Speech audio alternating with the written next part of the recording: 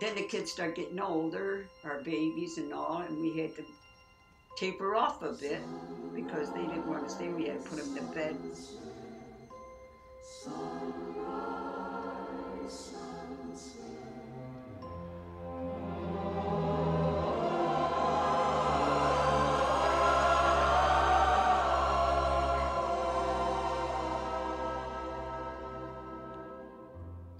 I just love everybody.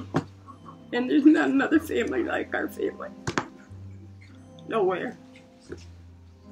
Love y'all. I love you all. Maybe I didn't say it enough, and I don't want to cry. But I love and miss you all. And even though I don't come to everything, doesn't mean that I don't love everybody. I do.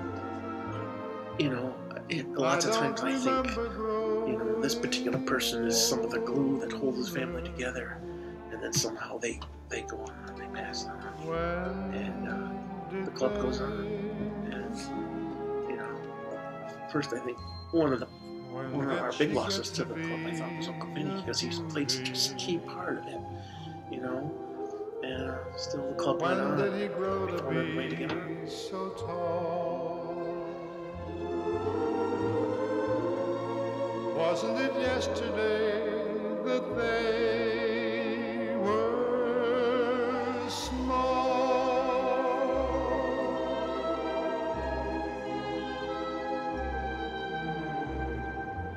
Sunrise, sunset, sunrise, sunset. Let's not change. Let's hope that all the young people and their family continue.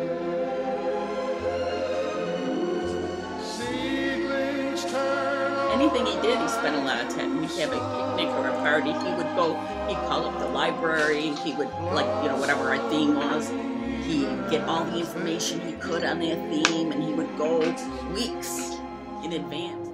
Sunrise, sunset, sunrise, sunset, swiftly 52 years of